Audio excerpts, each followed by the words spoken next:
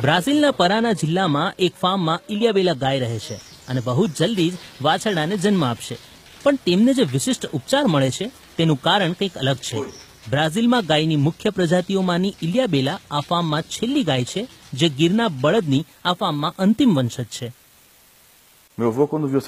જ્યારે મારા દાદાએ વાછરડા કૃષ્ણનું ચિત્ર જોયું ત્યારે તેમને ખૂબ રસ પડ્યો. વાછરડું ભારતમાં હતું અને ભાવનગરના મહારાજાનું હતું. ત્યારે મારા દાદા તેને લેવા ત્યાં ગયા હતા.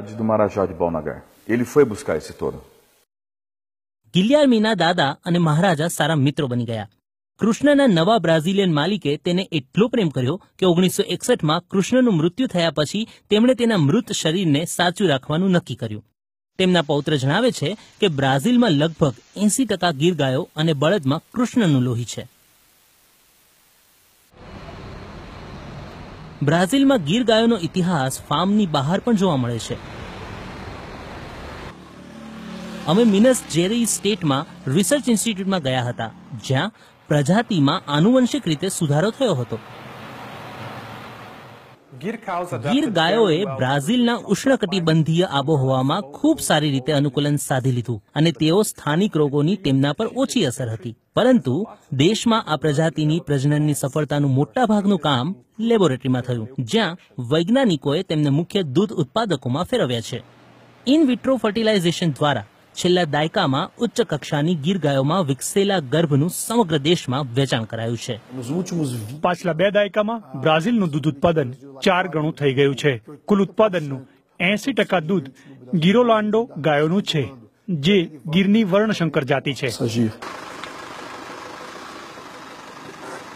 ગીર ગાયોનો ઉછેર એ બ્રાઝિલમાં મોટો બિઝનેસ છે.